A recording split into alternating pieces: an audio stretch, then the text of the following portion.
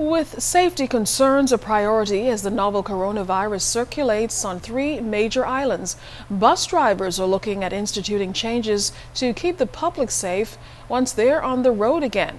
Cleopatra Murphy has the story. A large section of the public is dependent on public transportation to get around, but once the economy fully reopens and buses are allowed to operate again, it may be under a radically changed system.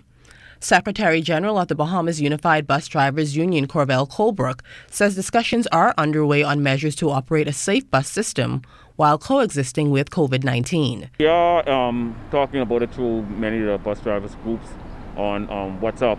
Uh, some of the changes that um, we would like to see is probably putting the panel behind the, the driver and then of course uh, try to change the way payment is made. We would love to be able to go to a cashless system whereas there won't be no hand-to-hand movement between the driver and the passengers.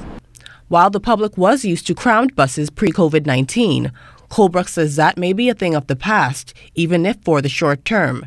The next time you take a bus, there may be a lot more space between you and another passenger, as drivers make the effort to protect themselves as well as their customers. It won't be allowed that everybody be sitting so comfortably until you probably get a vaccine for this virus. So uh, most likely we probably have about 10 to 15 persons on the bus per time.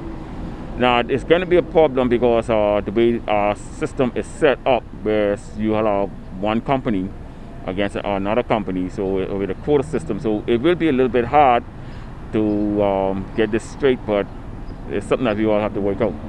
While the many weeks off their bus routes has had an impact on their purses, the union representative says government made the correct call when it decided to shut down the public transportation system. When you do the research, it was uh, 100% the right choice. Uh, drivers around the world, especially in the U.S., uh, are catching the COVID-19 are dying. Uh, you know, from New York, um, Boston. And then when you check out the case down in Miami, they, um, they, their union has filed a lawsuit against uh, the mayor of, New, of Miami because they have not provided any masks or hand sanitizer or gloves for their drivers.